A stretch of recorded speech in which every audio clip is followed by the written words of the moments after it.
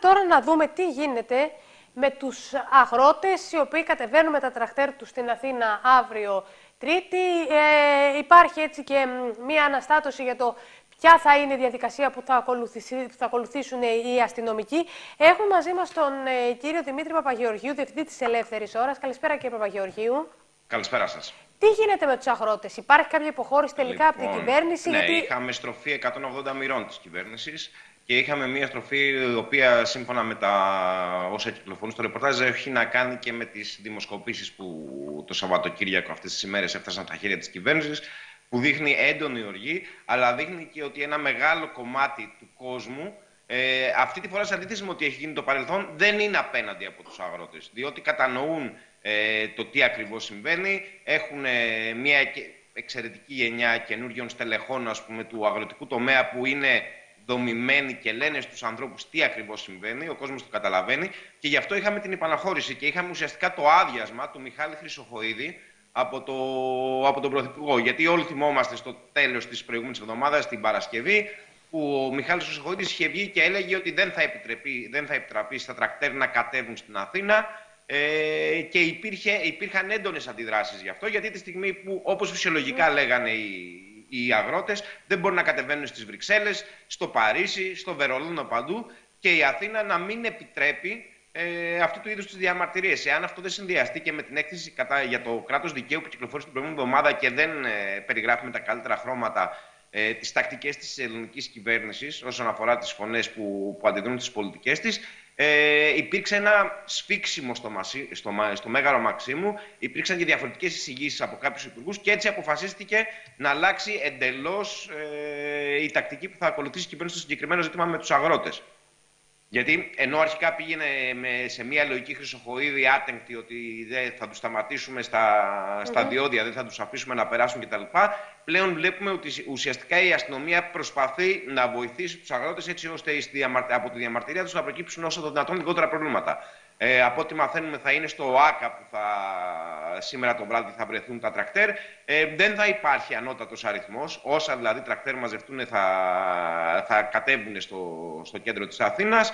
Υπάρχει μεγάλη κινητοποίηση από τους αγρότες. Μιλάνε για πάνω από 5.000 άτομα τα οποία θα έρθουν με λεωφορεία συν όποιος κόσμος τους συμπαρασταθεί, από- συμπαρασταθεί από την Αθήνα. Οπότε θα έχει ιδιαίτερο ενδιαφέρον. Πρόκειται όμως για μια επικοινωνιακή ήττα της κυβέρνησης, ακριβώς λόγω αυτής της τροφής 180 μοιρών, την οποία αναγκάστηκε να κάνει για να μην, ε, να μην φανεί, ας πούμε, ότι απορρίπτει τελείως τους αγρότες. Πάντως ε, βλέπουμε ότι πραγματικά και οι αγρότες είναι αποφασισμένοι. Έτσι είναι κύριε Καραγιάννη και χαρά το έχουμε δει εδώ και αρκετές μέρες. Έτσι, ότι είναι αποφασισμένοι να διεκδικήσουν αυτά που, που, που θέλουν και αυτά που πρέπει να πάρουν. Γιατί θυμόμαστε ότι και κάποια πράγματα τα οποία τους είχε δώσει αρχικά ε, η κυβέρνηση ήταν στην ουσία τίποτα. Κοιτάξτε, μακάρι να η κάθε συντεχνιακή ομάδα η οποία νιώθει αδικημένη να διορθώσει τις επιλογές που έχει κάνει γιατί και εκείνη φταίει για αυτό το οποίο συνετελέσει σήμερα. Έχω ακούσει εκπροσώπους της οι οποίοι ας πούμε λένε ε, ότι ίσως ε, να μην ήταν αρκετή η διαμαρτυρία που έχουμε κάνει.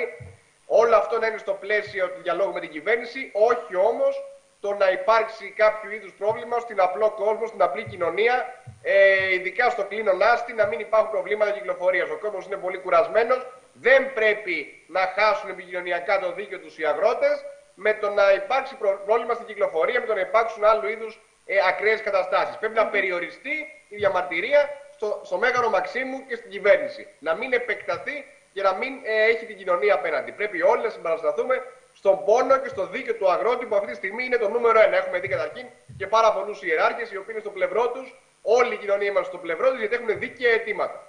Από εκεί και πέρα Α- όλα αυτά πάντα είναι σε ένα πλαίσιο έτσι, ειρήνης και ηρεμίας. Αξίζει πάντως να σημειωθεί ότι η κυβέρνηση δεν δείχνει διατεθειμένη να έρθει σε περαιτέρω διάλογο με τους αγρότες. Είχαμε σήμερα το πρωί τις δηλώσεις του κυβερνητικού εκπροσώπου του Παύλου Μαρινάκη, που ουσιαστικά είπε ότι τα δημοσιονομικά περιθώρια έχουν εξαντληθεί, άρα δεν πρόκειται να δοθεί κάτι παραπάνω στους αγρότες. Ε, αυτό δε, σίγουρα δεν δημιουργεί καλές προθέσεις ε, από πλευράς των αγροτών, οι οποίοι δεν ξέρω αν θα κατέβουν έτσι τόσο, ε, τόσο ήρεμα, Ήρεμα, όσο ναι. θα, θα θέλαμε, διότι εκ των προτέρων ε, οι αιτιάσεις τους όλες έχουν απορριφθεί από πλευράς της κυβέρνησης. Μάλιστα, αυτά Πάντως λοιπόν. είναι αποφασισμένοι Και αυτό δείχνει ότι οποιαδήποτε, οποιοδήποτε εμπόδιο ε, βρουν μπροστά τους, ε, δεν, θα επικρατήσει, δεν θα επικρατήσει ηρεμία. Τουλάχιστον έτσι φαίνεται.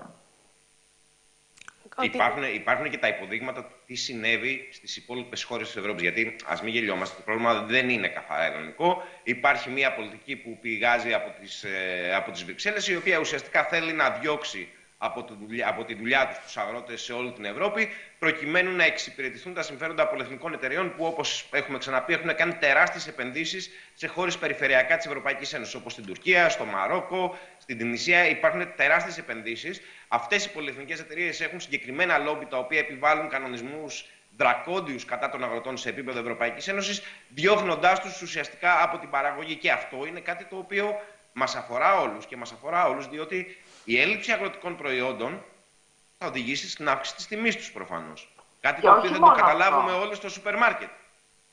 Ναι, όχι μόνο αυτό. Η Ελλάδα είναι μια κατεξοχήν χώρα αγροτική ε, που ανέκαθεν είχε παραγωγή. Ε, αυτό σημαίνει, αν, αν όντως υλοποιηθεί αυτό, για την Ελλάδα θα είναι καταστροφικό, γιατί δεν έχει βιομηχανία, τουλάχιστον για την ώρα η Ελλάδα, και όπως είπες, ε, οι, αυτές οι πολυεθνικές εταιρείες έχουν εγκατασταθεί σε άλλες χώρες εκτός από την Ελλάδα. Αυτό λοιπόν θα είναι μεγάλο πλήγμα για την ελληνική οικονομία, ε, το να μην έχουμε αγροτική παραγωγή. Θα είναι ένας ακόμα τομέας ο οποίος θα παραλύσει. Το θέμα είναι να μην παραλύσει και να βρεθεί κάποια στιγμή η λύση έτσι ώστε και οι αγρότες να μπορέσουν πλέον οι άνθρωποι να κάνουν σωστά τη δουλειά τους και να πάρουν αυτά που δικαιούνται και φυσικά αυτό που είπε και ο κύριος Καραγιάννης να μην ταλαιπωρούνται και οι Έλληνες πολίτες και να βρεθεί η χρυσή τομή. Κύριε Παπαγεωργίου, σας ευχαριστούμε πάρα πολύ. Εδώ θα είμαστε, θα τα ξαναπούμε. Να δούμε λίγο και το εξώφυλλο, το σημερινό εξώφυλλο από την ελεύθερη ώρα. Το έθνο σώζεται από τρεις δασκάλους, τρεις παπάδες και τρεις αξιωματικούς. Μόνο η Ενωμένη Δεξιά θα βάλει φρένο στον κατήφορο.